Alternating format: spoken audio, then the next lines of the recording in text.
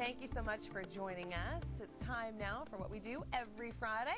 We talk to our night sky guy, astronomer extraordinaire, Andrew Fazekas. How are you doing today, Andrew? Well, good morning, Emily. Doing Good fine. morning. Is it cold enough for you?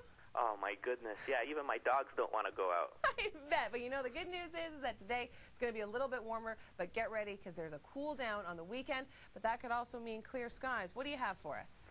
Well, uh, we have, you know, we've been talking about the Orion constellation because Mhm. it's like the, it's, it's probably the easiest constellation for anyone, even beginner stargazers, to check out in the southern, southeast skies. And we're going to wrap things up this week by focusing in on the real treasure that's inside this constellation. And we got our, our star chart set up of where the constellation is in the evening skies.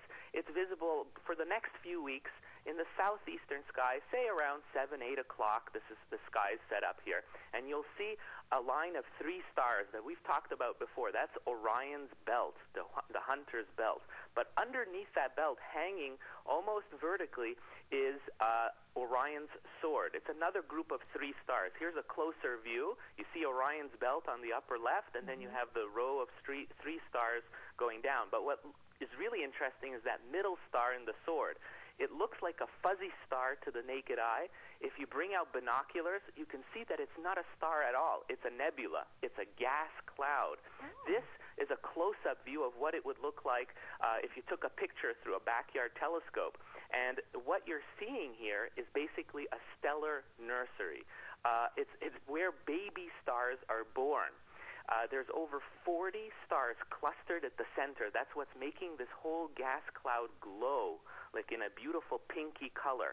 And what's really neat, uh, this gas cloud is about 20 light years across. It means that light takes 20 years to go from one end to the other. Oh, wow. And you get this, it's 1,200 light years away from the Earth. That means that when you look up in the sky and you see that fuzzy, fuzzy little blob, think about that. It's 1,200 light years away.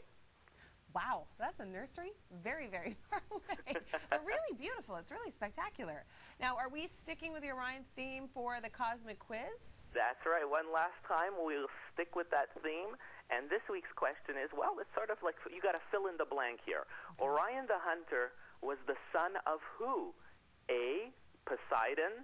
B. Zeus. Or how about the god Apollo? C. Hmm.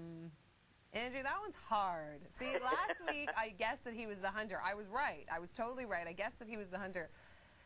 Okay, I'll have my guess coming up, but we're going to move on now. What do you have for us in space news?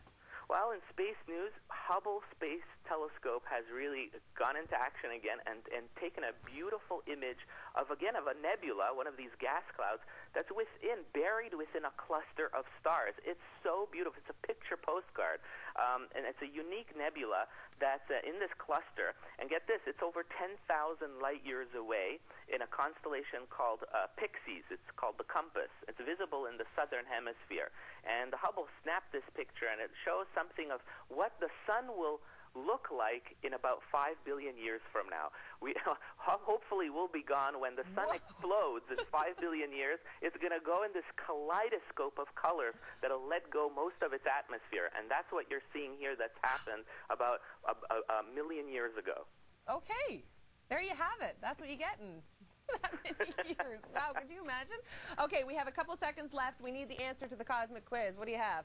Well, the answer: Orion was the son of A, Poseidon, the lord it. of the sea. I knew it. You see, I was going to go Zeus because that looked like the obvious choice, but he was his brother. It was the brother. It's always That's the brother. right. A It's true like soap a opera. Soap opera, yeah. I was just about to say it's totally like a soap opera. Well, Andrew, thank you so much. It is always a pleasure. I hope you have a fantastic weekend. Well, clear skies. And if you want more information of what Andrew and I talked about today, all you need to do is head to his website. You can see some really spectacular images and get some really cool facts. All you have to go to is www.thenightskyguy.com. And make sure you stay tuned because we're going to be talking about clear skies for you across the prairies this weekend.